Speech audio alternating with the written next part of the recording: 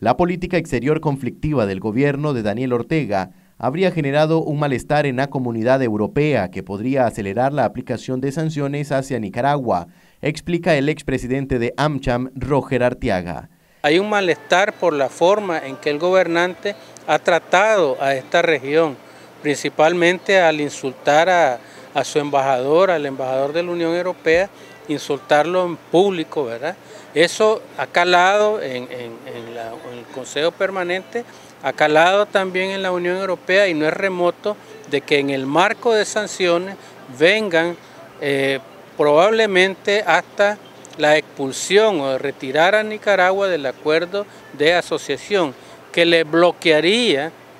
todo eh, ese mercado a los exportadores nicaragüenses. El empresario indica que la agudización de las acciones represivas del gobierno ha retrocedido a nuestro país en cuanto al tema de los derechos humanos y democracia. 11 años desde el 2007,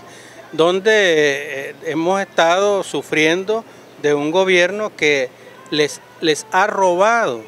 todos los derechos constitucionales a los nicaragüenses y el reclamo de los nicaragüenses es que le devuelvan esos derechos constitucionales, que puedan reunirse, pueda caminar libremente, manifestarse públicamente y poder ir a unas elecciones libres, justas, transparentes y competitivas. Esto nos lleva a los años 80 de nuevo, a una situación que nadie la quiere recordar porque cada uno de los nicaragüenses tuvo que sufrir en parte todo lo que ocurrió en los 80 cuando estaba el gobierno del Frente Sandinista. Marcos Medina, Noticias 12.